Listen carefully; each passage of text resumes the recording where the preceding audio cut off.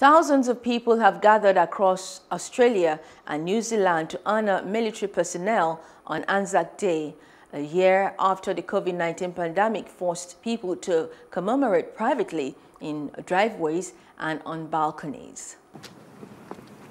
Across the Tasman Sea in both Australia and New Zealand, wreaths were laid at a dawn service to commemorate Anzac Day. Of veterans and their families. Prime Minister Jacinda Ardern thanked both men and women who had served the country. Each name here and on memorials dotted up and down Aotearoa New Zealand represents a death that brought grief and anguish to homes, families, and communities. Across the generations, war has taken a grievous toll for both what it is and for what it leaves behind. In Australia, Prime Minister Scott Morrison also marked the sacrifices of all troops in conflict. Anzac Day commemorates the bloody battle on the Gallipoli Peninsula in Turkey during World War I.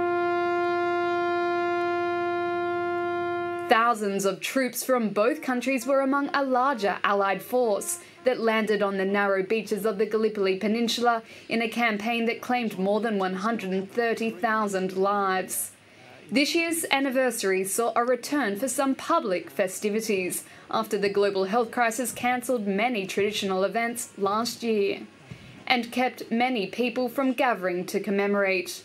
Although ceremonies were cancelled in some cities this year, in Sydney, thousands of people lined the streets and waved Australian flags as veterans saluted and marched in the annual parade.